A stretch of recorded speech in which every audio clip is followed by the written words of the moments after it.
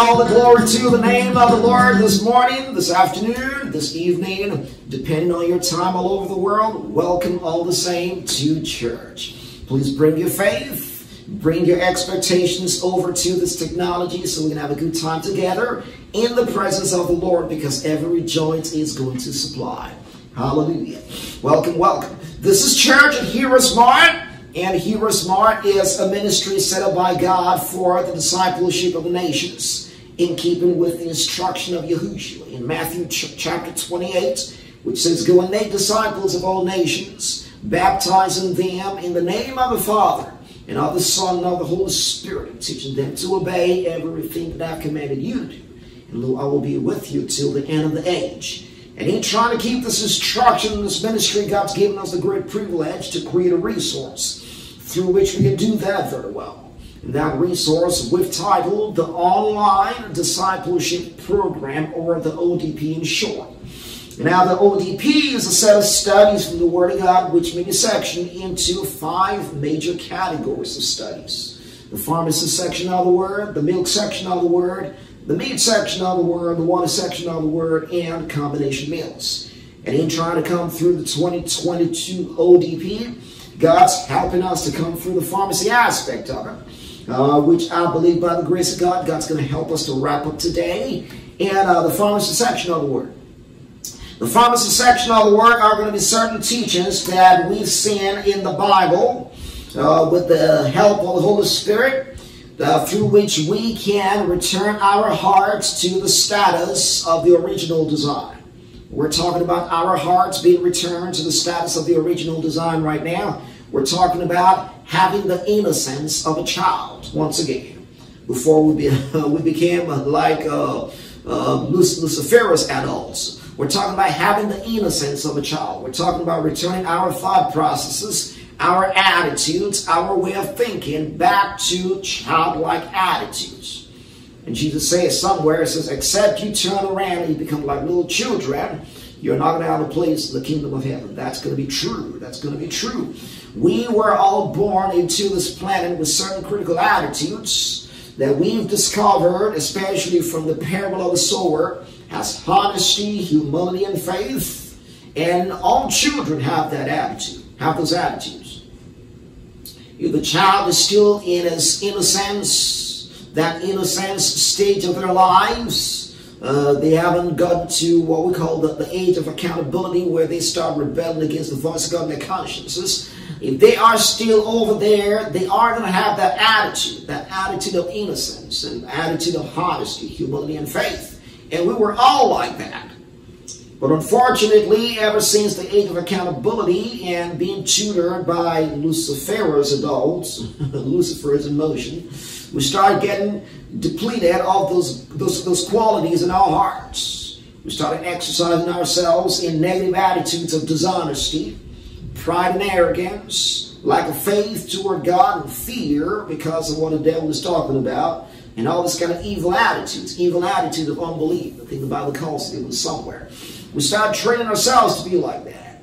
Ever since the age of accountability, and then we stumbled on certain principles that God is born again, and all of a sudden, right now, we need to be untrained because your soul didn't get born again. Your mind didn't get born again. Your attitudes didn't get born again. So you got to relearn those childlike attitudes again on purpose, and that is the reason for the pharmacy section of the word. We're going to see later when we get to the spiritual groceries section of the ODP by the grace of God how you can on purpose teach yourself to identify certain stimuli of your spiritual systems to determine whether you need to be exposed to pharmacy all over again, whether you need to be exposed to the milk section of the word all over again, the meat of the word, the water the word. Well, that's going to build that spiritual intelligence into us. But first things first, you got to straighten up your attitude so you can have a clean slate for the rest of the year. Hallelujah. Glory to God. So that's what God's been helping us to do for the past four weeks. And this is going to be part five. We are going to be talking about the Overcomer's Secret, part five. And the Overcomer's Secret is a critical resource that God helped us to write in the ministry uh, that we have been using all through the years by the grace of God, to return our hearts back to the status of the original design. This is the book right in here. It's a 440 something page book, and it contains critical, critical nuggets that God helped us to discover all through the uh, pages of the Bible, uh, through which we can return our hearts back to honesty, humility, and faith in increasing measures by the grace of God. So we've come through uh, parts one, two, three, and four of the Overcomer's Secret, and today is going to be the final section of it, which is uh, section five. It's going to be titled "What's Next." Hallelujah. What is next? How does the Overcomer's Secret tie into all this things about the lifestyle of Jesus and how does it map to my destiny. We're going to be talking about all those in section 5, the Overcomer's Secret, part 5 today, with what is next. So section 5 is titled What is Next, and, and he has a couple of chapters to it. Chapter 25 is going to be titled Carry On Just Like You Started. Chapter 26 is titled The Levels of Honesty. Chapter 27 is titled Levels of Humility. Chapter 28 is titled Levels of Faith. And there are a couple of appendices right after that. Appendix A, Quick Help. Appendix B, Quick uh, Quiz Time Answers. Appendix C, Index. And Appendix D, Glossary of Terms. You're going to see all these things over there to give us really, really critical strategies to return our hearts back to the status of the original design. So chapter number 25 is going to be on page number 263. If you have your copy on the Overcomer Secret, you're welcome to grab it, turn to it, and let us study together TOS 5 by the grace of God. Carry on just like you started. Hallelujah. So when we're talking about carry on just like you started, what are we really talking about? We're talking about carrying on with certain things that got you born again. Hallelujah. And where did we get that from? Well, we got that from Colossians chapter 2 and in verse 6. So please turn over there if you got your Bible. Um, or, or, if not, you're welcome just to look on page number 264 of the Overcomer Secret. It's going to be there for you. Colossians chapter 2 and in verse 6. It says, So then, just as you received Christ Jesus as Lord, continue to live your lives in Him. Rooted, underline that, well, that means that those same principles are going to get you rooted. It means, in other words, they're going to get you your foundation built up. It means that you're getting built up. They're going to be there. Those same principles are going to be there. Strengthened in the faith. So to get strengthened, you cannot afford to ignore those principles that got you born again as you were taught and overflowing with thanks, thankfulness. So this verse of scripture lets us know that certain certain principles got us born again. It says, just as you received Christ Jesus as Lord, continue to live your lives Him. So I'm going to ask you this question. How many people have received Yahushua, Christ Jesus, as the Lord of their lives? Right? Everybody on the call by the grace of God, of course, I know. You call Yahushua Lord or Jesus Lord. Whatever name is convenient for your culture, our God is really gracious. He is uh, permissive of that. You call him Lord. The Messiah will die and was resurrected from the dead. But I'm going to ask you this question How did you call him Lord? What made you, what positioned you to call Yahushua Lord 20 years ago, 5 years ago, 4 years ago? And some other sibling of yours couldn't call Jesus Lord. What's that quality in you that makes you special? If you can identify those things that position you to call Yahushua Lord, now, those things are going to be really, really important to keep you rooted, to keep you grounded, built up, and strengthened in the faith. Oh. But what are those things that I, what, what kind of qualities did I have to position me to call Jesus Lord? Well, unfortunately, the body of Christ hasn't really emphasized the teaching aspect of discipleship. So we really do not know what we stumbled on to make Yahushua the Lord of our lives. We just stumble on certain principles and all of a sudden, well, yeah. But if you don't know what you stumbled on, most likely you cannot consolidate on that strategy. And certainly not, you will not be able to grow in those attitudes that got you started. Because nothing happens by chance. And if you can't grow those attitudes that got you started, then it becomes really easy for the devil to snatch it away from you. Becomes really easy for the devil to snatch it away, to snatch it away. Wow. So that's the reason studying this kind of concept is going to be really important for you. Colossians chapter 2 verse 6. It says, So has you received Jesus Christ as Lord, continue to live your lives in Him. So what are those things that position me to receive Christ Jesus as Lord? I'm going to ask you to turn to Titus chapter 3 and verse 5 right now. Identifies certain favor, a certain favor that got me born again. Titus chapter 3 and verse 5. It says, He saved us not because of the righteous things we had done, but because of His mercy. And the word salvation over there is talking about being born again. Because if you read that verse in context from verse 1 of Titus chapter 3, from verse 1 to 5, you're going to be he's going to be talking about the rebirth of our spirits. So he changed our spirits. In other words, John 3 3, John 3 16 experience. He saved us because of his mercy. So that was a critical favor of the Lord that I attracted to get me born again called the mercy of God. All right? So mercy got me started, and guess what? Mercy is going to carry me on. Mercy is going to get me built up. Mercy is going to get me strengthened. Mercy is going to get me to carry on in my Christian journey following after Yahushua. So there is no forgetting mercies anymore. I'm not going to get to a stage in my walk with the Lord. So, well, thank God for the mercies of yesterday and, you know, past years. But you know what, Lord? I don't think I need your mercy anymore. No, no, no. You are going to atrophy so fast, the devil's going to beat you black and blue. No, you can't say that. Mercy started you. Mercy's going to carry you on. So make sure you bookmark that. Titus chapter 3 and Colossians chapter 2 verse 6, really important. Make sure you bookmark that. Mercy got me started. Mercy's going to carry me on. And now the scripture in the book of Ephesians, in Ephesians chapter 2 verse 8, identifies for us another favor of God that got us started. Now this time is going to be Ephesians chapter 2 verse 8. Let's read it slowly together. It says, For it is by grace you have been saved through faith. And this is not from yourselves. It is the gift of God. Now, oh, okay, underline that.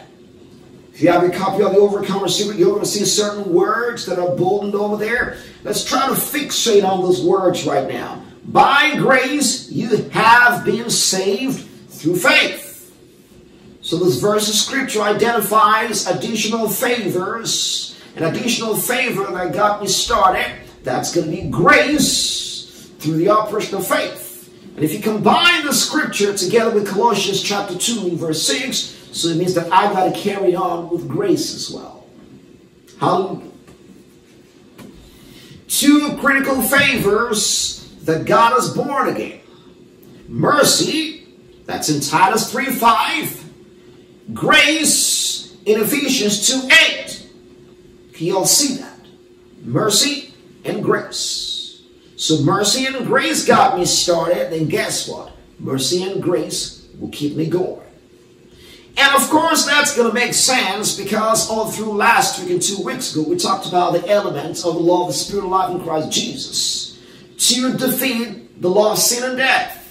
And in our study and analysis, we came up with two elements of the law of the Spirit of life in Christ Jesus mercy and grace. So, is it going to be out of reason for the Holy Spirit to orchestrate Colossians chapter 2, verse 6, Titus chapter 3, verse 5, Ephesians chapter 2, verse 8, to reiterate the importance of carrying on with mercy and grace? No. It's not going to be out of reason. The Holy Spirit can do that on purpose, and that's what he did through his letters.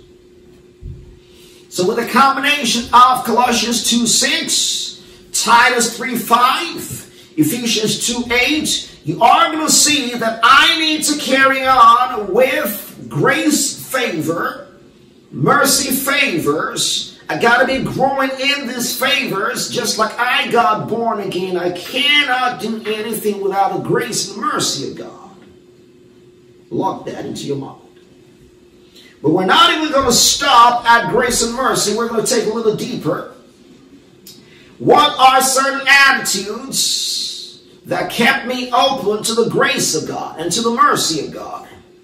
We studied those attitudes all through last week and two weeks ago, and I believe even three weeks ago about the grace of God.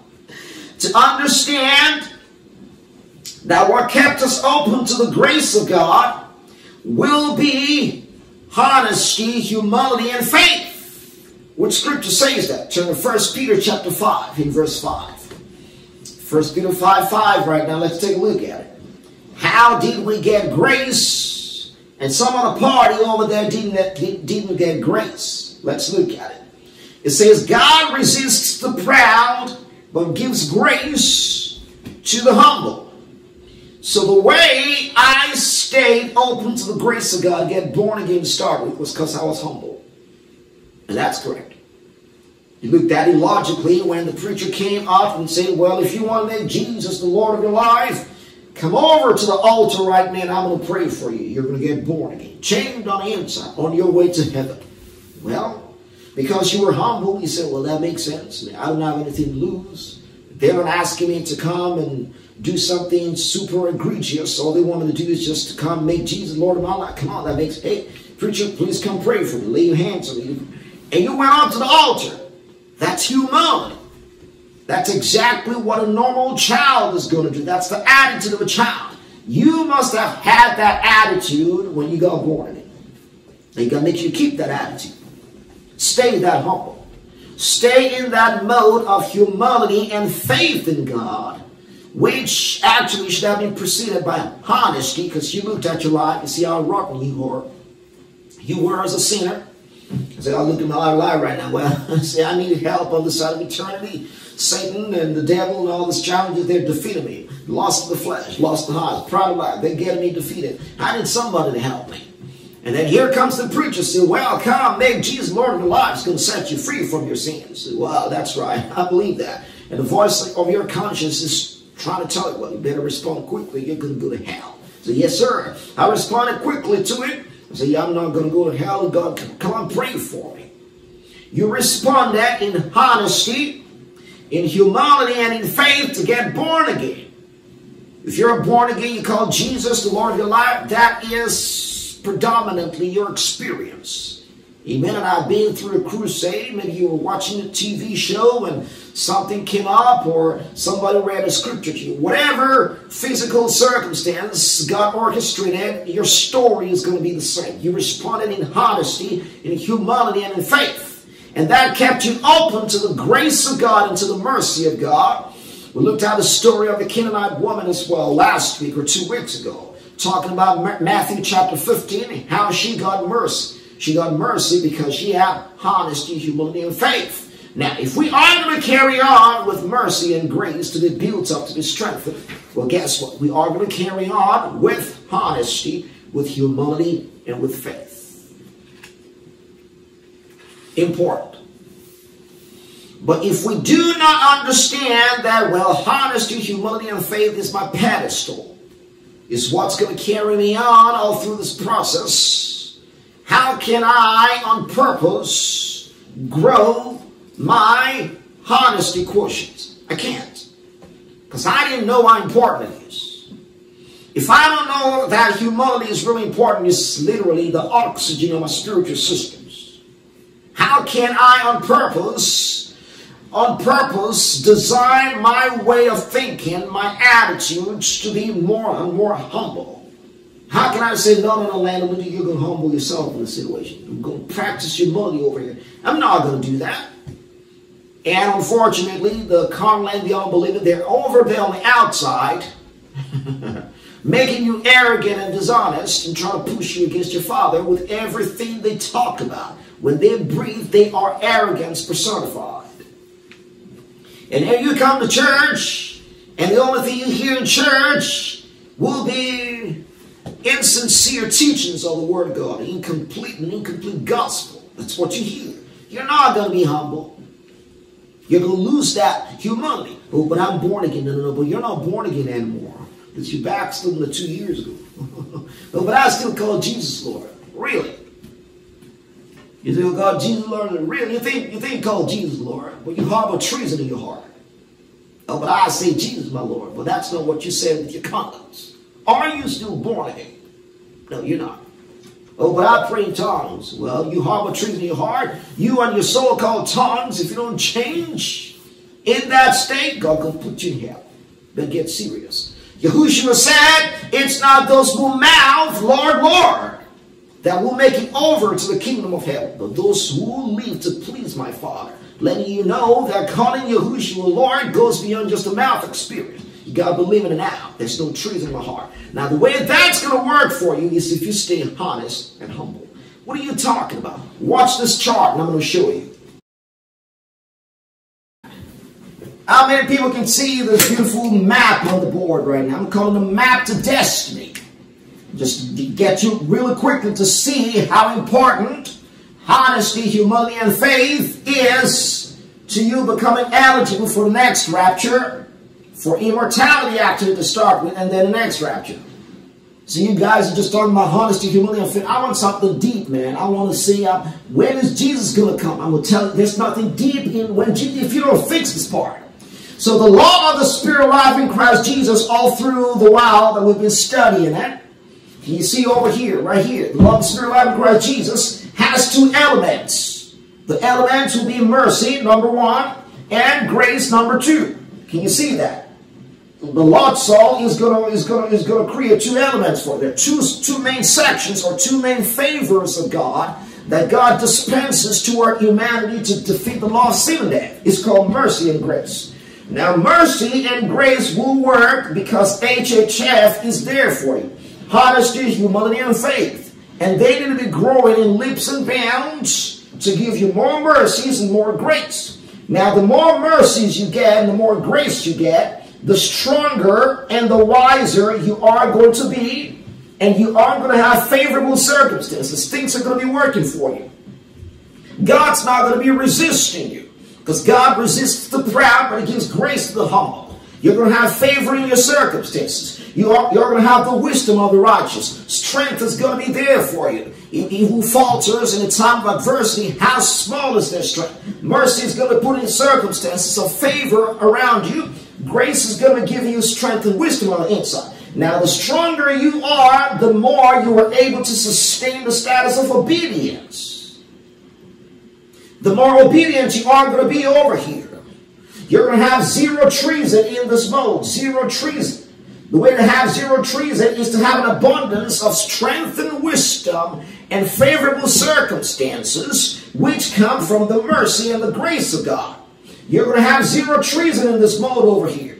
Now, when you have zero treason, God's not going to be unfaithful. Every action of obedience is going to be rewarded with a crown of life.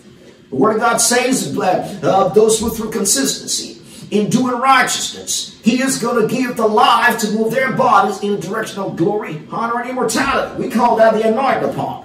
Now, the more anointing upon you have is going to move you in a direction of immortality because it's going to start sowing the seed of the next resurrection in your physical body. We call that immortality. And during the stage of the next resurrection of the dead, which we believe is going to be approximately 40 days before the next rapture out of here, you are going to be eligible for that next immortality and then take your turn on the trip out to this planet in the next rapture. Now, how many people want to go to the next rapture? Raise your hands if you're listening to me. Or you want to be here with the Antichrist going to be ringing your nose. No, that's not your story. You want to be here in the next rapture. But I'm telling you, the way to go with the next rapture is to stay with increasing honesty, humility, and faith. Can you see how this maps together right now? Right here. The law of the Spirit of life in Christ Jesus has two elements to it mercy and grace. Mercy and grace will work in my life because HHF is increasing. Honesty, humility, and faith. What will that translate to? favorable circumstances, strength on the inside, wisdom. What's that going to translate to? Zero treason in my life. Sustain perfect obedience. What's that going to translate to? More anointing, more anointing upon me. The crown of life is going to be growing on me. I'm going to keep my crown. What's that crown going to do? Move me in the direction of immortality. The glorified resurrection experience, which is the hope of salvation. And when I keep on sowing that seed of the anointing upon the crown of life in my physical body, during that season, I will be eligible for the next glorification of the physical body and subsequent the next rapture out of here. So is grace and mercy, honesty and humility, the law of the spirit of life of Christ Jesus, the overcomer's secret. Is it important? Absolutely yes. That is the map to destiny. This is the basis of it. This is where it starts. That's the reason we start every ODP session with the pharmacy section of the word, which we know is the overcomer secret by the grace of God. Did you get something from it? Hallelujah. All right, you're welcome to take a snapshot of this right now. It's going to be on the board for you. You can download it from the website, but please and please make sure you lock this into your mind. This is the curriculum. This is the reason we're doing all of this firstly over here. You got you got to make sure you're growing in grace and mercy, right? You got come on somebody. Hallelujah. Stay on board. And that graphic is going to be really important and is available as well from the study notes. So there's another resource that we just published called Discipleship Study Notes for Rapture Ready Believers. Okay? The reason I'm doing all of this because I'm good with all of you. I'm not going to let anybody stay. No, no, no, no. You're coming on board. If I have to drum it into your ears, you're coming on board. Now, discipleship study notes for the rapture ready. You're going to see on page number 21, you are going to see that over there. This is the map to destiny. And that's the reason you're going to see the law of the Spirit of life in Christ is the basis for it. Glory to God. Really important. So we've got to grow our levels of honesty. We've got to grow in humility so that uh, we can grow in faith as well, of course, so that we can grow our mercy quotient and grow our uh, grace quotient by the grace God. So, chapter 26 now starts talking about how to grow in honesty. What are different levels of honesty over there that we can grow? Some practical strategies that God allowed us to see in chapter 27. We going to see different levels of humility. And then chapter 28, different levels of faith and how to on purpose cultivate my attitudes in honesty. Doing certain things that would train my way of thinking to be honest, to be more humble, to be in faith toward God. So in honesty, we talked about all through TOS 1, TOS 3, three critical levels of honesty that uh, will position the believer Firstly, as baseline levels of honesty, which we can find from the parable of the sower, we call it HO1, HO2, HO3. HO1 is going to be acknowledging the existence of God. That is honesty because you can see the existence of God all around you. The order of your physical body did not just come to play because of some kind of Big Bang evolutionary experience. You know better than that. And if you debate around that, you are dishonest. HO1 is going to be acknowledging there's a God who created a physical body. Anybody who says there is no God who came out of a Big Bang experience is patently dishonest. HO2 is going to be acknowledging the folly of one's ways and attributing that as the source of misery. I got to train my way of thinking. If something is breaking my circumstances, it's because there is foolishness in the way I, I behave. There is some kind of folly in my way. I'm going to acknowledge that. Not going to point an accusing finger at God point an accusing finger at somebody else and say, well, it's because of, no, no, no, no, I'm, I'm foolish in some kind of way. You got to acknowledge that. The Word of God says that the folly of a man's ways will ruin their ways. And they acknowledge that, their heart's not going to rage against the Lord. That's HO2. HO3 is acknowledging God as the source of my prosperity. There's nothing good in anybody. Yahushua said, only God is good. You got to acknowledge that. Well, that's honesty as well. But then there are going to be additional levels of honesty, especially in our relationships, that God allowed us to see, which will leverage the platform of these three levels of honesty that we talked about. And I'm saying that because of uh, the scripture in Ephesians chapter 4 in verse 15 and verse 25. Now you got your Bible, go ahead, please turn over there to Ephesians chapter 4 right now. And um, yeah, we're going to pick just two verses for the sake of time. You're going to take verse 15 and then verse 25 and understand holistically how there will be additional levels of honesty, honesty which will leverage the platform of those baseline levels of honesty I just talked about. Ephesians chapter 4, turn to it. Hallelujah. The Word of God says in verse 15 and 25, instead, speaking the truth in love, we will grow to become in every respect the mature body of Him who is the head, that is Christ. Therefore, each of you must put off falsehood and speak truthfully to your neighbor for we are all members of one body. Now look at it. Speaking the truth in love to your neighbor. So in my relationships, I've got to practice honesty as well. But I can only do that if I am in love. So that it's got the baseline, baseline level of love, which honesty, H-O-1, 2, 3 should position me to be operating the God kind of love toward God toward myself, toward the people in my world, which is going to position me right now to be honest in my relationships with my neighbors. Can you see that? If there is no love in my heart, I'm not going to be honest to my neighbor. If there is no God kind of love in my heart, there is no way I can grow in my level of honesty. And guess what? my mercy quotient is not going to grow because of that. So HO1, HO2, HO3, get me found at, grounded in the God kind of love toward God, toward myself, toward the people in my world, correct? Now with that platform of love, I can grow in honesty, and I can grow in mercy, and I can grow in grace. That's why it's important. So who is my neighbor then? Yahushua identifies talking in one of the parables, somebody came to him and said, Who's my neighbor? And he talked about the parable of the Great Samaritan, the Good Samaritan. Yahushua says, Anybody in your world is going to be your neighbor. They don't have to necessarily, necessarily be your next door neighbor, but if God makes their path cut across your path, they are your neighbor. And you are going to see that there are three major categories of relationships that we can have in our lives. How do you know that? Look at your physical body. There are three relationships between the members of your physical body. There is a relationship between your head and your hand, for example. Your head is the center of command. It issues commands. So go ahead and you pick up this book. Well, the instruction came from my head. And did you see that my hand just complied and picked, pick the book up. So there's a relationship between my head and my hand.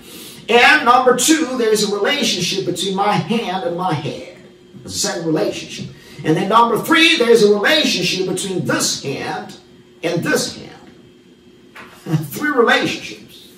And look at your relationships over there. The relationship between your head, your head is going to be like the truly greater. It's going to be called the truly greater. There's a relationship between the truly greater and your hand is going to be the truly lesser. So truly greater, truly lesser, and then the other hand is going to be your peer.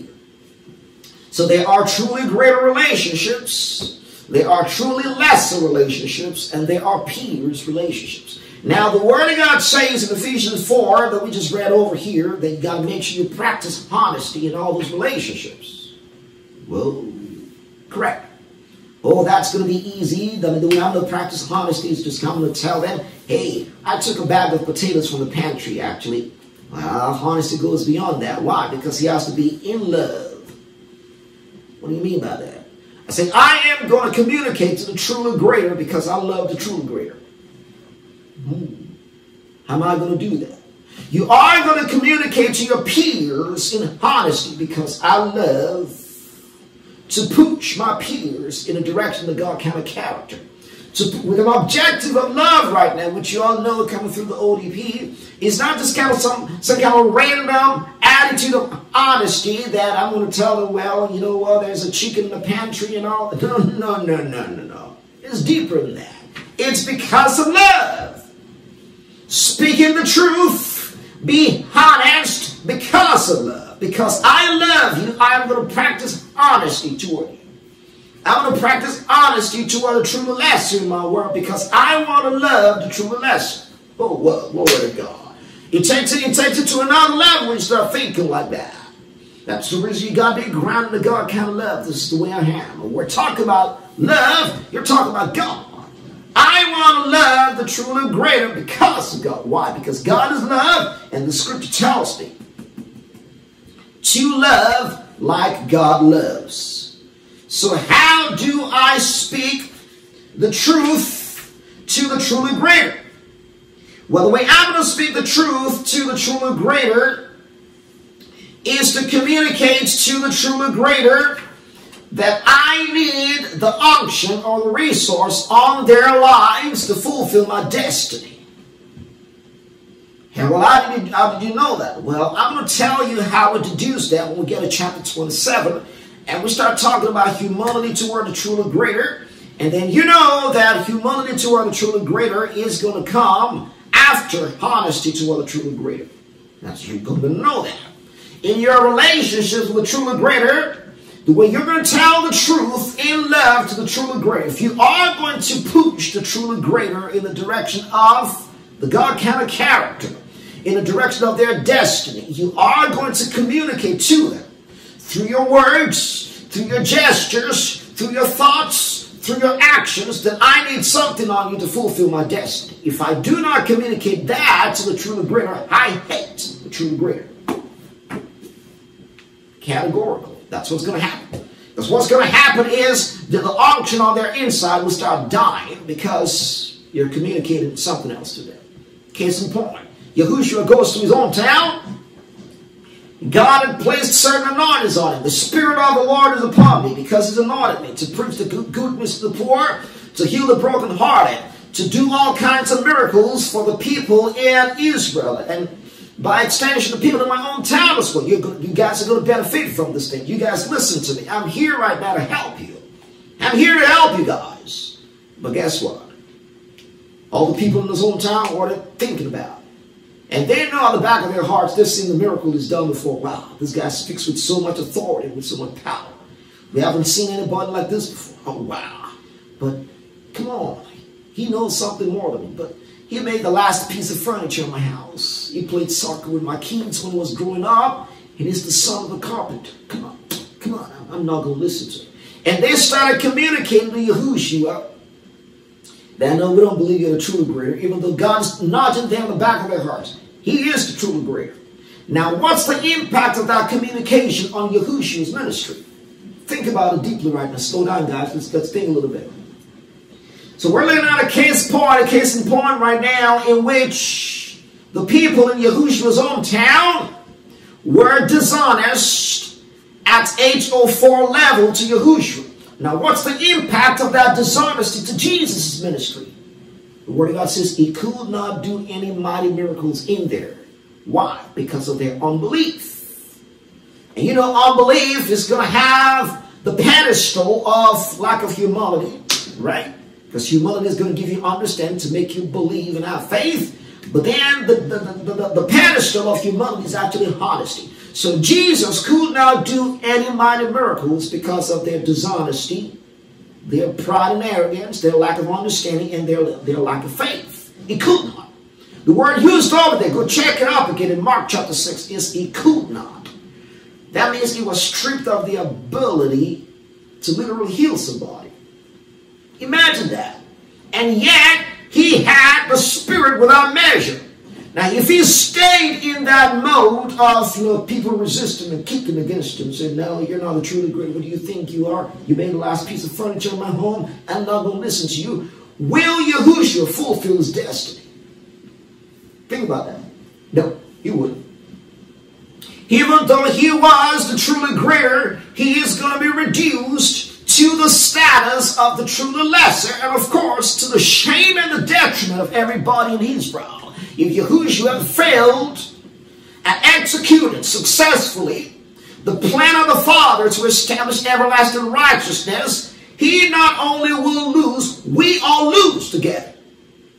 So is that love to the truly greater when the truly lesser does not speak the truth in love to the truly, truly greater? How do you speak the truth in love? Let them know that I know you have something on you that I need, and I'm going to pull that something on you for me. Let them know that. In your thought processes, with your word, with your gestures, with your actions over there, do not lie to the truly greater, and you will love the truly greater. And guess what? For your benefit, mercy will increase in your account because of that attitude. Is that attitude honesty correct? It is honesty. How does it work in practical terms? Look at what happens in your home. Here's a child growing up in your house, and you're trying to teach the child ABCs. I'm teaching my child ABCs out of count, one, two, three over there. But anytime I try to teach the child, this is 2 plus 2 is going to be equivalent to 4. The child says, no, I don't believe that. What do you mean 2 plus 2 is going to be equal to 4? No, 2 plus 2 is going to be equal to whatever I want to call it. Come on, sit down. I know I'm more than you. No, what are you talking about? 2 plus 2 is going to be equal. Will there be peace? Will there be a way to further resources and channel resources to develop that? No, there's not. Things to break down like that. That's the reason honesty in relationships is important. HO4. Oh, but how did you get that? How do you know truly greater, truly less? I'm to tell you. I'm to tell you. But that's how to speak the truth to the truly greater. Let's speaking the truth to the to our peers. That's going to be honesty level five. Remember, there are three different relationships right now: truly greater, truly, um, truly lesser, and your peers. But I'm going to call level five your peers. How do you speak the truth to your peers? You speak the truth to your peers by creating an impression in the minds of your peers that you are genuinely interested in their concerns. I do not see my peers as the truly greater. In other words, I'm not necessarily communicating to them that I need something on them to fulfill my destiny. That's the technical difference. But I want them to know that I'm not going to be selfish. And in that mode of talking to your peers like that, you love your peers. In that mode, you are going to push your peers in the direction of their destiny, and you will increase your mercy quotient because of that. That's how to be honest to your peers. How do you know that? Wait until chapter 27. I'm going to tell you. Honesty level 6, HO6, is going to be equivalent to creating an impression in the minds of the truly lesser that you have been through and or vulnerable to what they're going through at the moment. You got to tell your subordinates that through your words, through your actions, through your gestures, through your thought processes, the way you think. You got to make sure that the truly, truly lesser does not come up with an impression that you landed like a star from the skies. If the truly lesser starts thinking of you like that, well, there are no frailties, there is no blood flowing in his veins right now. He's just a God in the flesh. You lied to a true lesser. And you're not going to grow in mercy at HO6 level. You got to be very careful of that. You got to use relatable experiences to the people in your world that are gleaning from you. Let them see the frailties of your humanity to show them that if God helped me to overcome this, God can help you as well. There is nothing special about me. That's the reason I talked about all my frailties. I talked about my experiences. I give numerous opportunities and testimonies to see if God can do it for me. He can do it for you. Why am I doing that? I want to be honest for you. Because in that level of honesty toward a true lesser, you are going to be motivated. Wow. So these guys are not, they're not geniuses. They're, come on. So they can do it. I can do it too. Now, in that mode of communicating like that too, question. Will the truly lesser be motivated to fulfill their destiny? The answer, of course, is yes. But if I were to communicate to you that, man, come on now, you know, me and Masu superstar, this, come on, this, this, this, I don't need any God factor. I just came to this planet. I just know everything. What's the truly lesser going to be like? I just lied to them. I don't love them, and they're not going to move in their destiny. What's what's the, what's their attitude going to be like? Oh, was me? Man. Oh, come on. I'm just out of love because my name is this, and oh, come on. I'm, no, that's not going to be love. Remember, speak the truth in love in your relationships. So, can you see that honesty in our relationships grows and goes beyond just telling somebody there's potatoes in the pantry right now that I took yesterday? It goes beyond that. That's a very shallow understanding of honesty. Honesty has to be in love. Honesty has to be what can I do to love you like God loves you, even though you are my subordinate, even though you are my you are my peer, even though you are the truly greater. What can I do with my attitude to move you in the direction of your destiny? When you're thinking like that, your mercy quotient is going to grow.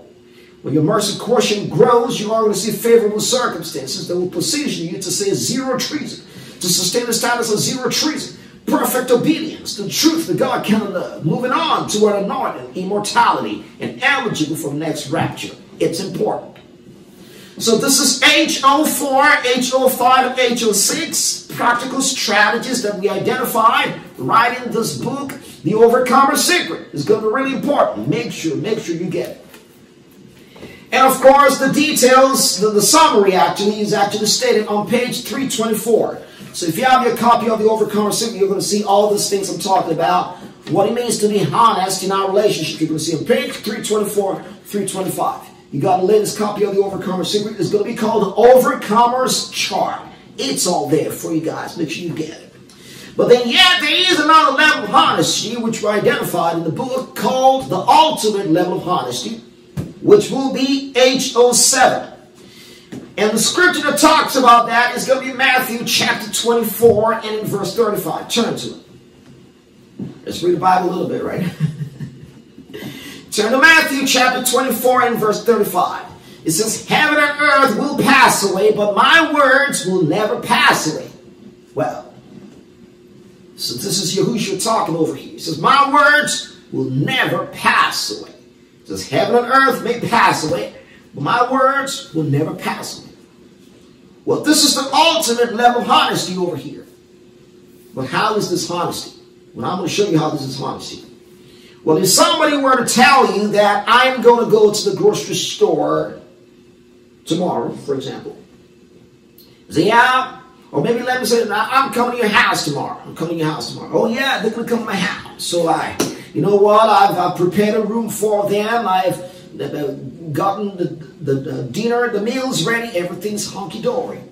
But all of a sudden, tomorrow comes and they don't they don't show up at your house. Oh wow, I'm feeling so bad right now. Did they were they honest to you or did they lie to you?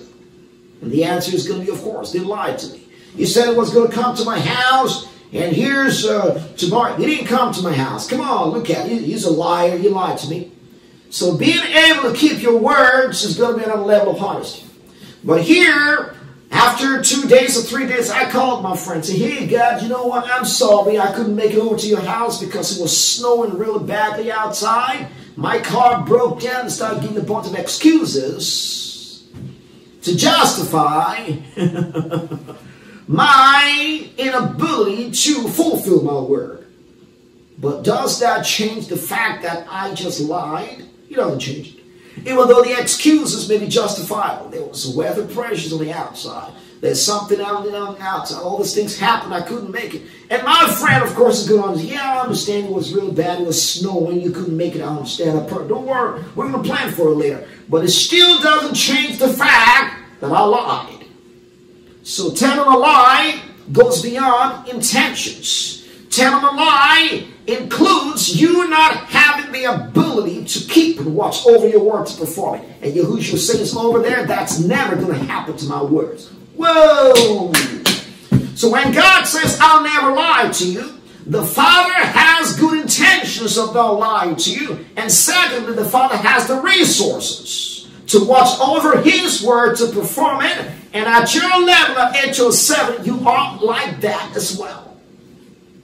Oh, that's Jesus. I, I don't think I can be like Jesus. Well, first, you call Yahushua Lord, you are a disciple of Jesus, you should be aspiring to be like Matthew 24, 35 over here. So Yahushua says, heaven and earth will pass away, but my word will never pass away. You should be like that. Your words never pass away. You don't speak idle words anymore. You speak on purpose right now. That's HO7. And you have God's power backing up your word to orchestrate circumstances to make sure that everything you say, you're watching over to perform it. Well, can I be like that? Yes, you can. Because people were born in shepherd iniquity, just like you and me were born in shepherd iniquity, they were like that on the side of eternity. An example was Elijah. Elijah gave a word. It says, by my word, it's not going to be any rain during the time of Ahab and Jezebel back in the Old Testament. And by his word, no rain for three years. He came around and said, by my word, it's going to be rain right now. And he unlocked the heavens. There was, there was rain over there in the Old Testament. No, but that was the Old Testament. Those guys were operating. I don't know what they were drinking, eating the Old Testament. No, he happened in the New Testament as well. What about Paul? Paul was telling the sailors, uh, that they shouldn't sail. He told them, well, this voyage is going to be really, really disrupted, guys. Do not set sail. And they slapped him down, saying, you little preacher, you don't know what you're talking about. We're not going to listen to you. And says, well, well, guess what happened? They lost all their cargoes and they scarcely saved their lives. Paul's words came to pass just like he said it. So we're seeing people and numerous characters like that all through the Bible. They're going to say something is going to come to pass. Say something. Well, they are operating in HO7. Now you got to be like that as well. How will you be like that? Well, the way you are going to be like that is by speaking based on the complete counsel of the Lord.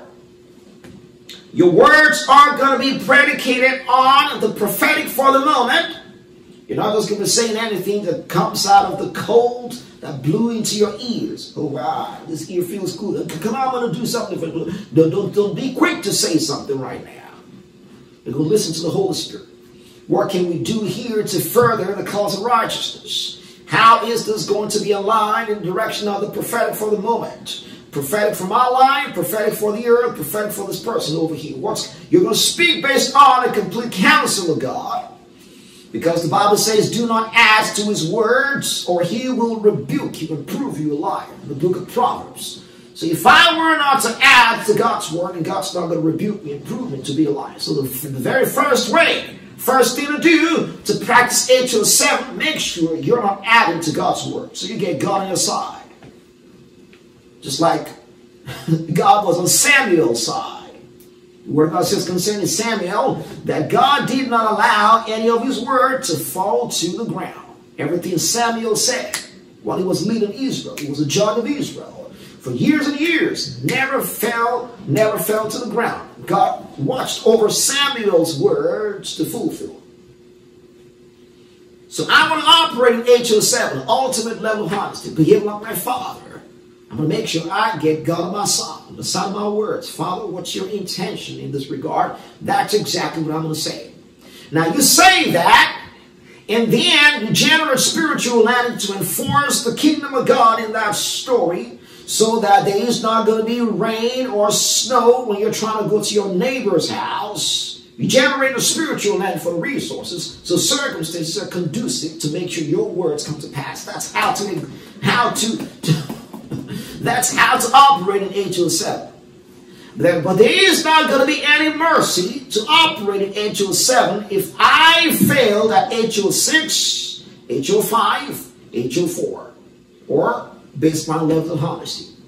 It's got to keep on growing on you guys. Growing on you. Based Baseline level of honesty and honesty in my relationships, and then HO7. So these are the major levels of honesty that God allowed us to identify reading that book. And of course, there may be additional levels of honesty, which God will show you as you journey, journey on with the Lord. So there may be HO 4.2, HO 5.3, HO 6.2, or something like that in between that God may show you. But the principle is going to be the same and open your heart. So that is chapter 26, talking about levels of honesty so we can grow our mercy quotient. Hallelujah.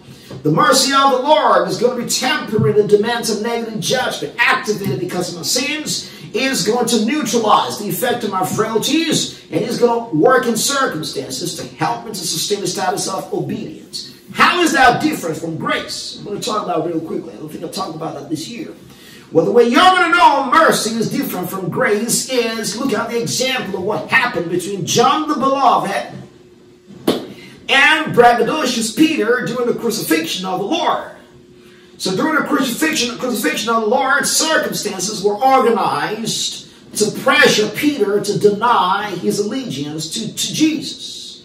But circumstances were not organized to pressure John the Beloved to deny his allegiance to the Lord. So John sustained the status of perfect obedience. Peter did not sustain the status of perfect obedience. Was that grace on the part of John? No. If John were pressured like Peter was pressured, most likely would have failed. he wasn't grace, he was mercy. Why? Because he was honest. And Peter was dishonest at the Last Supper. Oh, look at all of them. Oh, it's not getting braggadocious and pompous. If all of them deny you, look, come on, oh, I'll never deny you. And that boast, that braggadocio, stripped him of mercy. This is real, guys. The system has been designed to work that way. You start getting braggadocious, you start boasting and feeling pompous about yourself and being dishonest, even though God's telling you, better shut up right now, Peter. You're not that strong to do this thing. Just keep quiet. No, you start getting pompous and arrogant. You're going to circumstances going to be working to prove that you're a liar. I've seen it all through the years. Wow. This is amazing study, man. So if I understand this is the way the system works, guess what? I'm not going to be braggadocious about anything anymore. I learned it years ago. Said, no way. I'm not going to be braggadocious. Return all the glory to God. Keep your mouth shut. Or you're going to get circumstance to prove you're a liar. Watch out for that. Well, that, so that's chapter 26, levels of honesty, so we can grow our mercy quotient. Glory to God. And then chapter 27 right now. Chapter 27 is going to be talking about levels of humility which there are going to be humility levels one, two, three, as well as baseline levels of humility. Humility level 1 is going to be equivalent to seeking after God in response to HO1. So after I acknowledge that there's a God somewhere, the natural corollary of that acknowledgement is going to be start seeking for that God. Now the action of wanting to seek after God is humility. That's the technical difference. HO1 is going to acknowledge the existence of God, correct? And some people acknowledge the existence. I know God, God's around. I know there's a God somewhere. What are you doing without knowledge? Nothing. Well, what are you doing when you know there's a God around? Are you seeking after that God? Well, I didn't have time. I'm too busy. Well, that's pride. You know there's somebody who gives you breath every morning, but that person is not worthy of your attention or your search. Well, that's a baseline level of pride. so that's how we know HU1 is going to be seeking after God. HU2 is going to be refusing to be offended at God. If I acknowledge the folly of my ways, then I'm not going to be offended at God or offended at the preacher or the word of God. They'll go punch the preacher in the nose and say, well, come on, I dare you read that, read that scripture to me like that. No, you should not read that scripture to me. I'm going to punch you in the nose. No, I'm not going to do that. If I got HU2, glory to God. And HU3 is going to be casting my cares on the Lord because I understand that I have acknowledged that God is the source of my prosperity. All these things are going to be stated in Overcomer's chart, which are going to be, um, which is going to be on pages 324 and 325 of the Overcomer's Secret. On page number 20 of uh, discipleship study noted by the grace of God. Then these baseline levels of humility, HU1, 2, 3, will create a platform for humility in our relationships as well. There's going to be HU4, which is going to be now deference or submission to the truly greater. HU5 is going to be selflessness to our peers. HU6 is going to be patience and gentleness toward the truly lesser.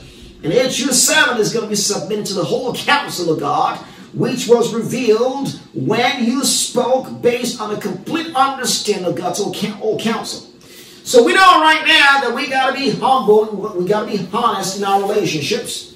But then, you know, honesty should lead to humility. So how do we know that? How do we practice humility in our relationships? Let's delve deeper right now. Turn back to 1 Peter 5 5 real quick. 1 Peter 5 5 says, In the same way, you who are younger, submit yourselves to the elders. And all of you be clothed in humility toward one another, because God opposes the proud, but He gives grace or favors to the humble. Now, can you see over there that God acknowledges different relationships? It says there is the younger and there is the older, or there is the younger and there's the elder.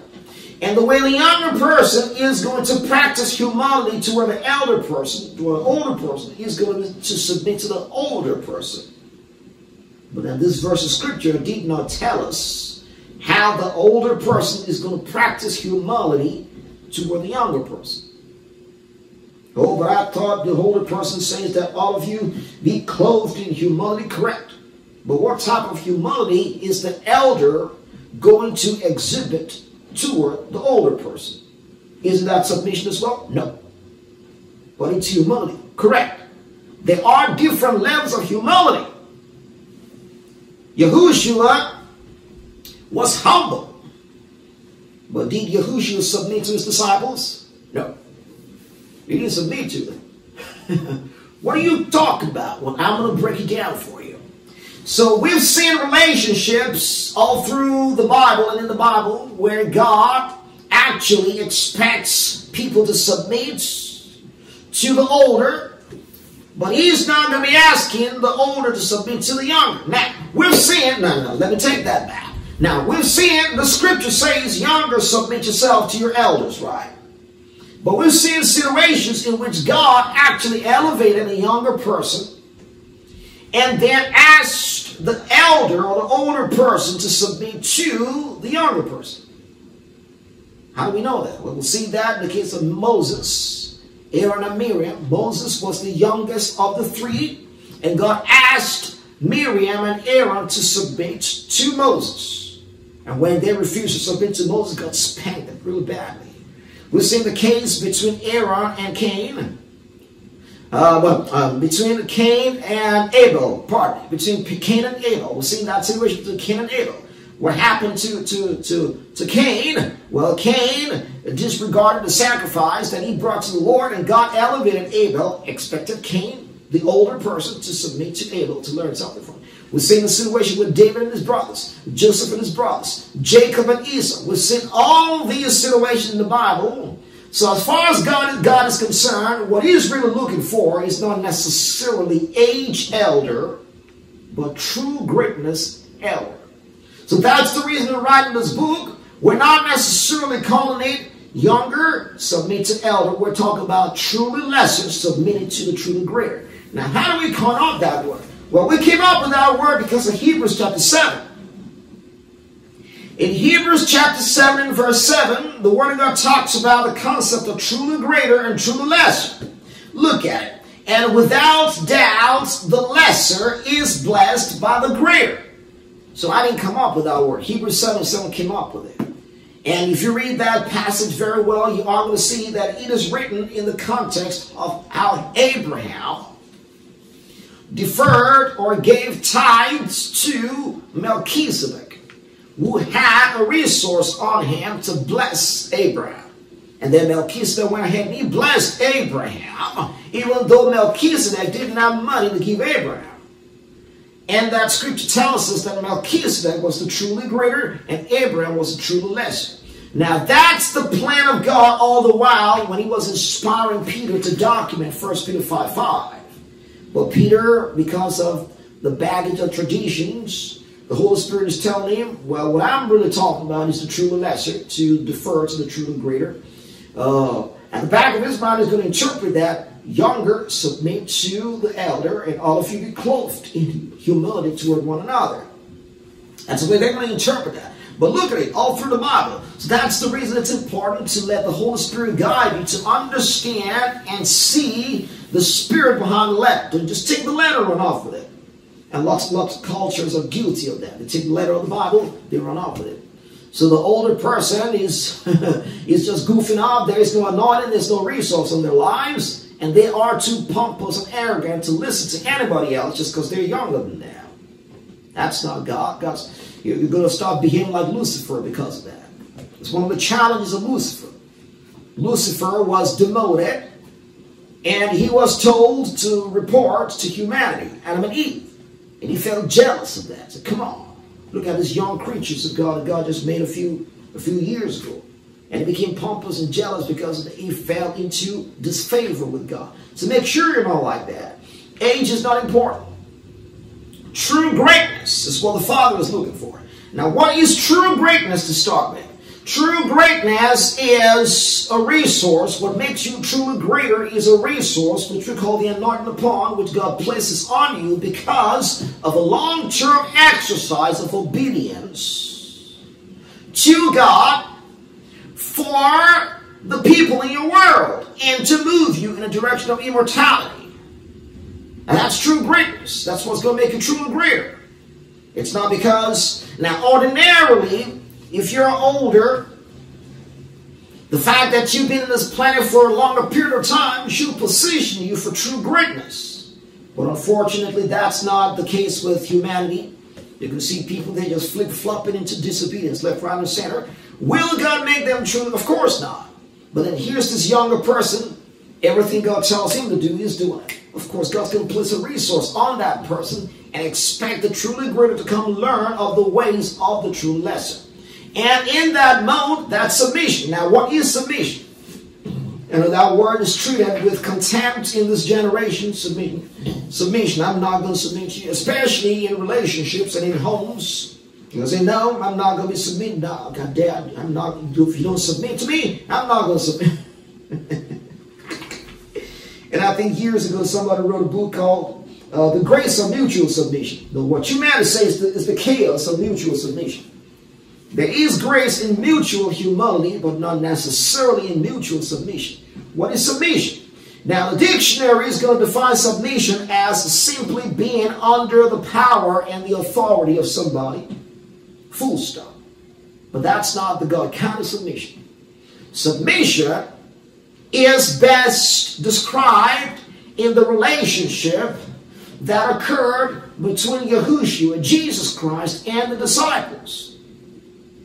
Because simply being under the power and the authority of somebody does not necessarily mean that you're submitted to them. I'm going to, uh, cite this example for you. So compare the relationship between Jesus and his disciples and the relationship between Daniel, Shadrach, Meshach, and Abednego, and Nebuchadnezzar back in Babylon. So if submission is going to be simply defined as simply being under the authority of somebody, Daniel, Shadrach, Meshach, and Abednego were under the authority of Nebuchadnezzar, but in the back of their hearts, they prayed, oh God, please deliver us from here. Deliver us from Nebuchadnezzar. Come on, we got to go back to uh, come deliver us. Will you consider that submission? Will God consider that a submission? Of course not. But now contrast that relationship to the disciples and Jesus. The disciples were under the authority of the Master. Yeah, correct? But in the back of their hearts, they're like, well, this is the greatest thing that could have happened to me. And I'm not thinking of going anywhere. No. When Jesus told them that he had to leave and go, they were completely devastated. Disciples didn't want to leave Yahushua. Anything Yahushua told them to do out of love for the master, they're going to go ahead and do. Oh, uh, Peter, give me your boats over there. Oh, come on, Master. Here's my boat. Go over here. They're going to do everything. Hey, you guys go ahead and get that donkey for me because I got to ride on it to Jerusalem. Okay, here we're going to go get that donkey. Hey, you guys, they're doing everything out of love. Now, in the eyes of the Father, which one is going to be submission? If you know your Bible very well, with a little bit of study right there, you're going to know that the relationship between Jesus and the disciples, and actually between the disciples and the Lord, is submission. God of submission. The relationship between Nebuchadnezzar and Shadrach, Meshach, and Abednego is not submission. So submission goes beyond just trying to be under the authority or the control of somebody. What is submission? Submission is exactly what Jesus defines as submission in Matthew 11. Look at Matthew chapter 11. This is Jesus talking to his disciples over here. It's an invitation to want to learn from the ways of the truly greater so that you can have rest for your soul. Hallelujah. Matthew chapter 11 and verse 28 says, Come to me, all you who are weary and burdened, and I will give you rest. Take my yoke upon you and learn from me, for I am gentle and humble in heart, and you will find rest for your souls. That is submission. The invitation that Jesus gives his disciples over here is to come and learn from my way. Come learn from my strategy, you guys, so that you can have rest for your souls. So, at the back of the mind of Peter, James, and John, the rest of the disciples, they are coming to learn from the ways of the Master so they can find rest for their souls. Shadrach, Meshach, and Abednego were not interested in learning from the ways of Nebuchadnezzar, even though they were under the control of Nebuchadnezzar. That's the submission. So the intent of the Father in HU4 relationship from the true lesser, the true greater is for the true lesser to have an attitude of wanting to learn from the ways of the true greater. If you have that attitude toward the true greater, man, I want to just pull on this unction. I want to learn from this. I want to learn from their ways. So that's the way you think. That's the way you speak to them. That's the way that you gesture. That's your conversation with them. You have HU4 and you are going to be open to greater grace because of that. You don't have that attitude, your grace quotient is not going to grow. And guess what? You cannot sustain the status of perfect obedience just like that. You're going to be straining against the odds. It's going to be difficult to please God in that mode because the resource on the truly greater that God placed on them, not solely for the truly greater, but because of you, you're not getting because of that arrogance in your heart. You got to fix it. Oh, yeah. But the business community is telling you to be independent. They're teaching you to do this and do this. No, no, no, no, no. They are the seeds of Lucifer. That's the reason they're streaming down to hell. Nothing is going to work in that mode. The infrastructure of Babylon is going to get them. The spirit of disobedience in the air is going to get all kinds of things are going to happen on the outside to the carnal and the unbelieving, and they cannot because the law is in motion. This, is, these things are laws right now. So HU4 is going to work when you are truly submitted to the truly greater. Now, who is the truly greater?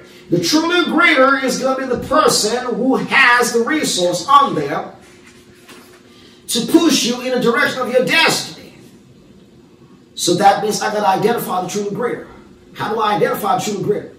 Oh, they got to have more money than me? Not necessarily. They got to have more education than me? Not necessarily. Look at the scripture in Hebrews chapter 13. Hebrews chapter 13 and verse 7, it says, Remember your leaders who spoke the word of God to you.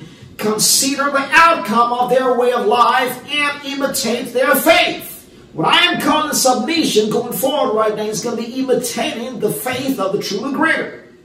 But the Bible didn't say for you to imitate the faith of the true and greater. Firstly, it says you got to consider the outcome of their lives, which is where HO4 comes to place. So look at the outcome of their lives. But I don't know them. I don't know what's going on in their homes. But you are that outcome of their lives.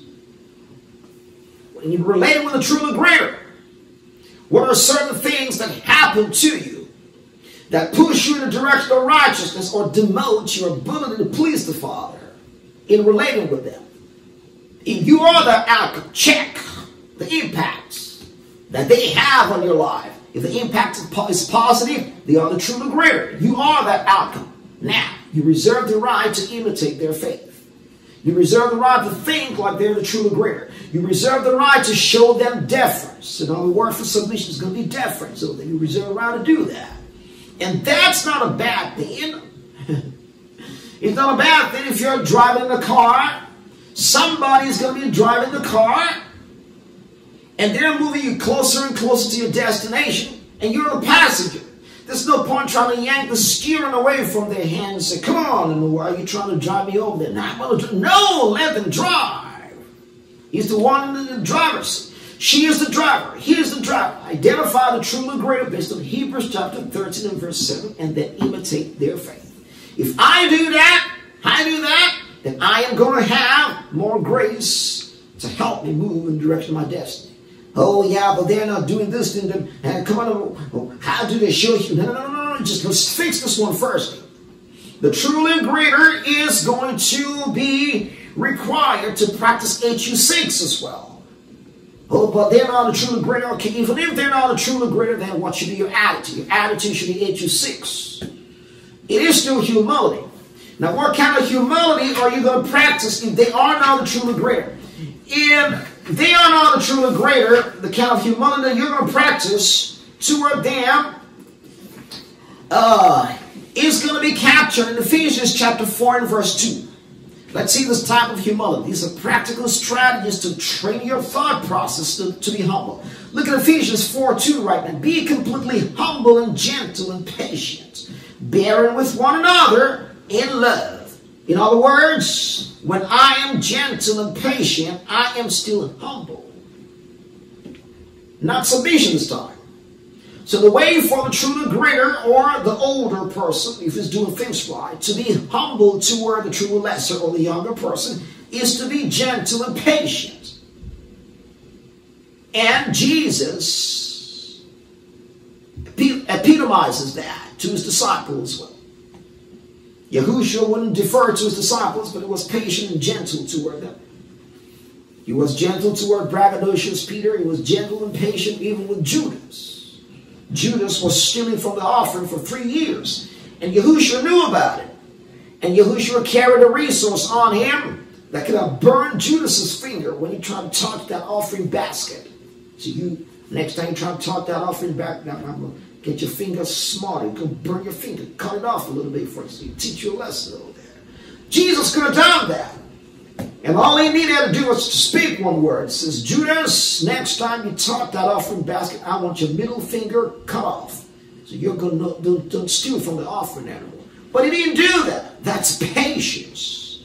That is gentleness. But that's not submission. But that is humility. In the case of John and James, they were throwing tantrums, John and James, sons of thunder. He could have dealt with them with the anointing he carried. But Jesus was patient and gentle. That is still humility. But Yahushua did not submit to learn of their ways. You see difference right now. There are different levels of humility. But how come we can't see this? Well, I'm seeing this not because I'm any better than my fathers in the faith. I'm seeing this because I live in a more privileged dispensation with regards to God's end time plan. And I do not have locks of traditions in the back of my heart. I'm crying to God, not from the tents of traditions, but outside the tents of traditions. And God opened my eyes to see his expectations with regards to humility, to let me know that there are different relationships to start with, and there are going to be different levels of humility. So humility level four is going to be submitted to the truly greater, wanting to learn of their ways, deferring to them. And if you fix your heart on this, wanting to learn of the truly greater, pulling on their on their incense and all that, you are going to have more grace. It's going to work between the husband and the wife. So all you women out there writing books about the grace of mutual submission, or what you meant to say is the, is the chaos of mutual submission. It's nothing like that. Firstly, you got to redefine what submission is to you. Submission is not being on the authority of somebody. Submission is wanting to learn from the ways of the truly greater so you can find rest for your soul. Now, but doesn't Ephesians chapter 5 talk about submitting to one another? Let's turn to it. And I'm going to tell you that that scripture that you're writing a book based on should have been translated, practice true humility toward one another. Look at. Ephesians chapter 5 in verse 21. It says, submit to one another out of reverence for Christ. Correct. But don't stop reading. Wives, submit yourself to your husband as to the Lord. For, for the husband is the head of the wife, as Christ is the head of the church.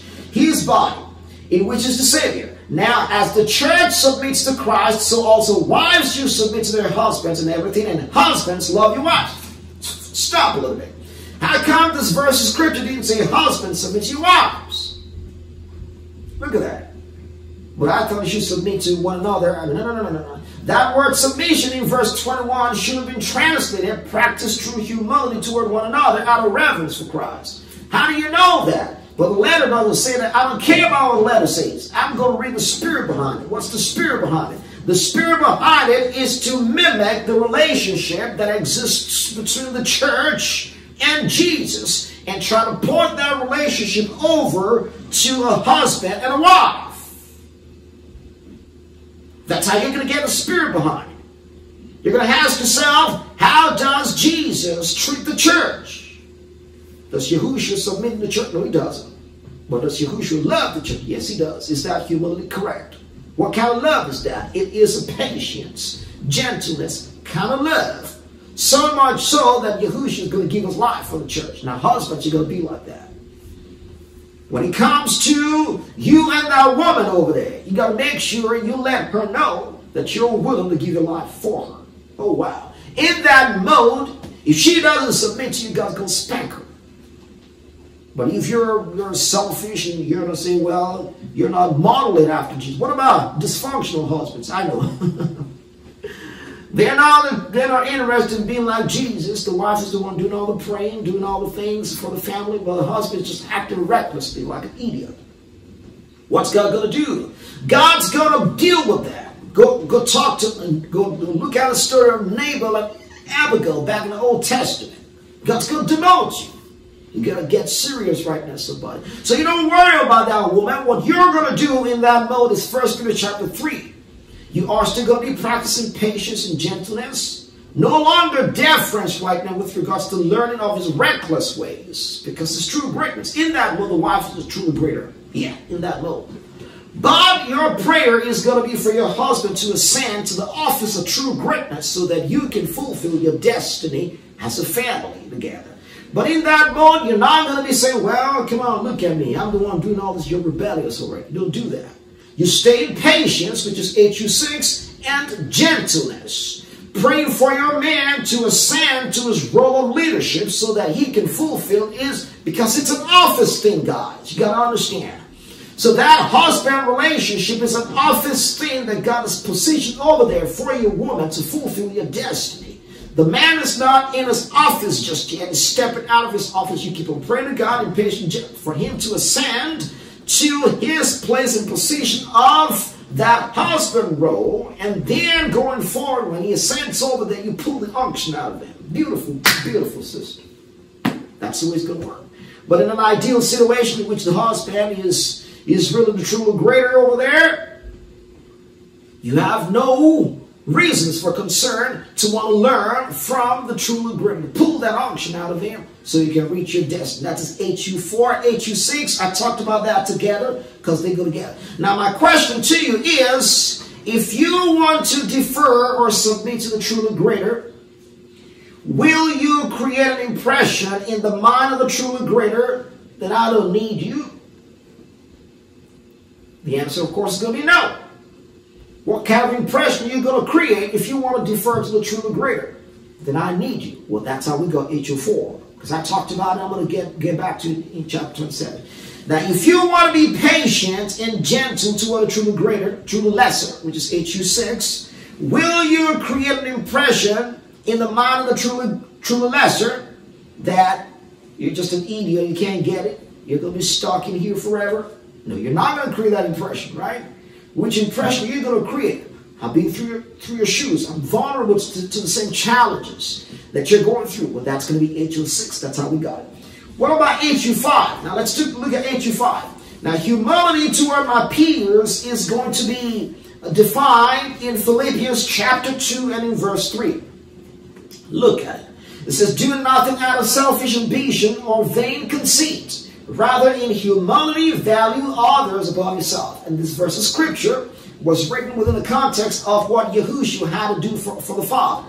So I'm going to go over there and save those guys. The Bible says, being equal with God, he did not count equality as something to be grasped, but rather he let it go and came in the form of a servant. Well, God calls that humility as well. Do nothing out of selfish ambition. In humility, value others. So when I start to value other people's interests, especially my peers right now, Well, it's not me first, it's you first. You go for it. I'm not necessarily trying to learn of your ways. I'm not necessarily trying to imitate your strategy, but I just want to prefer that you do this first because of you. Well, that's humility at HU5. And that attitude over there is going to keep me open to the grace of God. Hallelujah. Now, if I want to be like that, I want to be selfish, I want to be selfless toward my peers, will I create an impression among my peers that I'm not interested in what you got to do? No, of course not. What kind of impression will I create in the mind of my peers? Well, I'll let them know that I'm interested in your concerns. It's you first. Go for it. Well, that's HU5. So HU4, HO4. HU5, HO5. HU6, HU, everything is written on pages 324 325. We call it the overcomer's chart by the grace of God.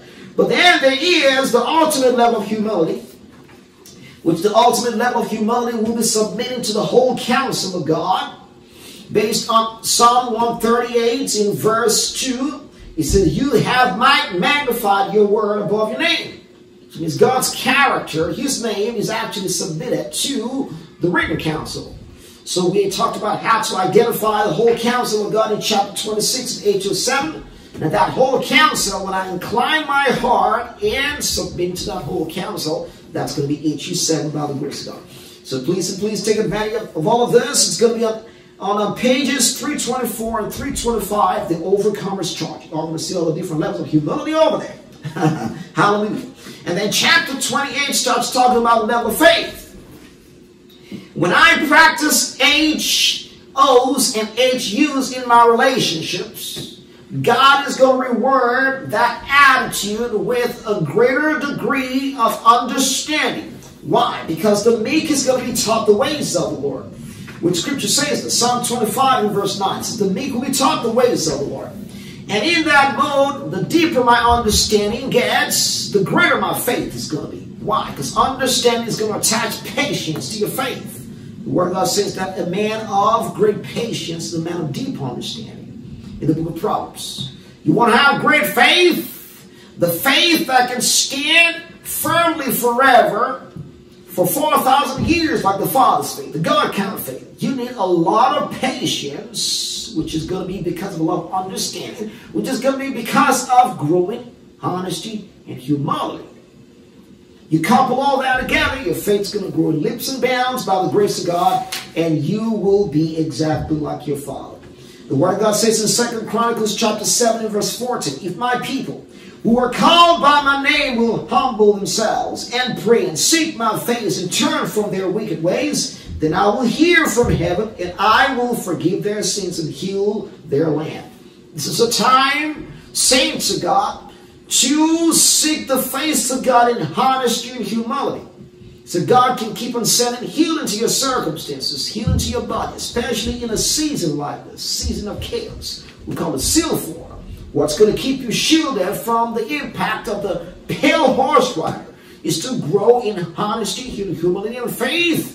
Your attitudes, your way of thinking, in your relationships, be honest over there. Be humble in your relationships. Out of love is going to make you open and stay open to the grace and the mercy of God. And with the grace and the mercy of God, there is no mountain that you will not level. Saints of God, in the name of Yahushua. Amen. So that's the end of the Overcomer Secret. There are additional things, um, appendices, quick helps, like uh, little articles that you can read over there. Uh, you're going to see answers to the quiz times uh, uh, section. You are going to see uh, the glossary of terms and all of those. So that please and please take advantage of it. The book is available on the website. I believe maybe, ordered from our website, um, heroesmart.com slash store or from Amazon or study notes. You know, there's lots of lots of ways you can actually handle all of these things by the grace of God. All right. You can get something from it, saints of God. I believe you did. All right. So as my custom is, I would like to give the viewing audience an opportunity to make the Lord, Yahushua, the Lord of their lives. For those who may not have done that before. Um, I'm going to read to you the most complete salvation scripture I can find in my Bible. And it's going to be Matthew chapter 7 and in verse 21.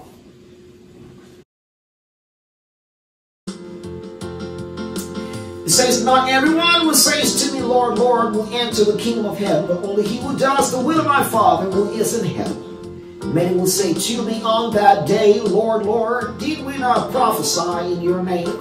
And in your name drive out demons and perform many miracles?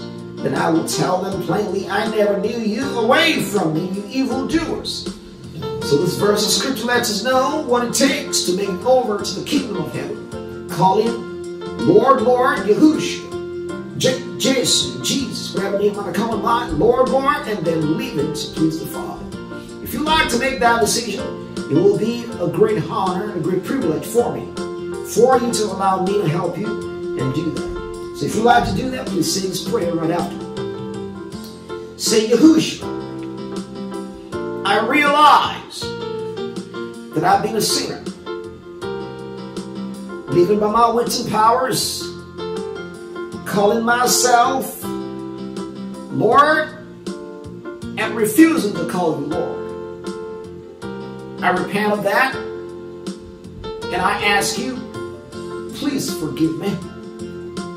I call you Lord, Master, Boss, and Savior. Please save me from my sins. Give me a new heart to receive the resources to please my Father.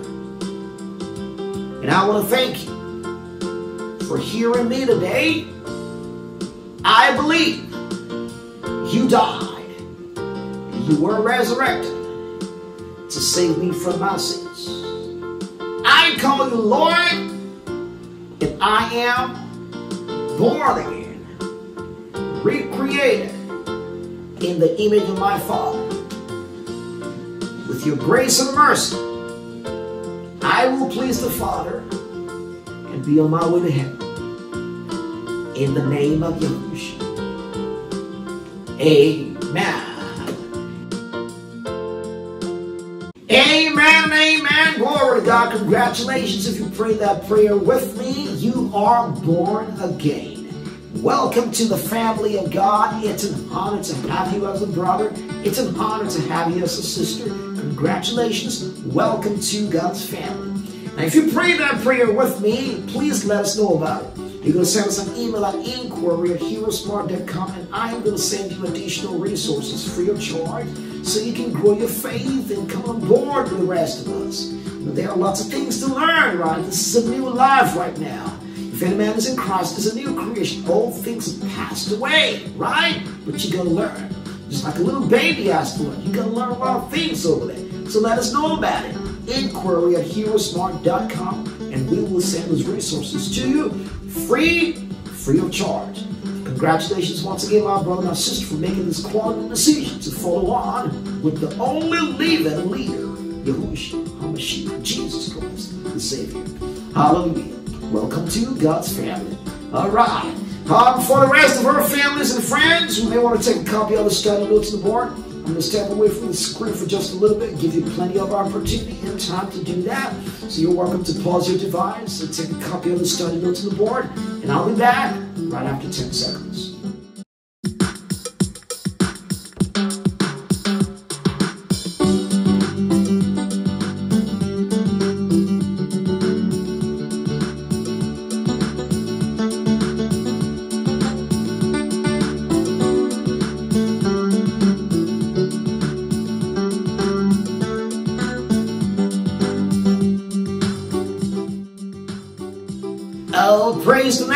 Of the Lord. I believe you got a chance to take a copy of the study notes on the board. I want to thank you for staying on board. This is the Overcomer Secret Part 5, 2021 Pharmacist section, 2022 Pharmacist section of the ODP. And I want to thank you for staying on board. We're not done with the ODP, just to move straight into the milk section of the Word to study fun things about the Christian discipleship program that we put together by the grace of God. So make sure you come back. We're going to do a whole lot of good by the grace of God. Until then, remember God cares about you and so do we. Yahushua is Lord.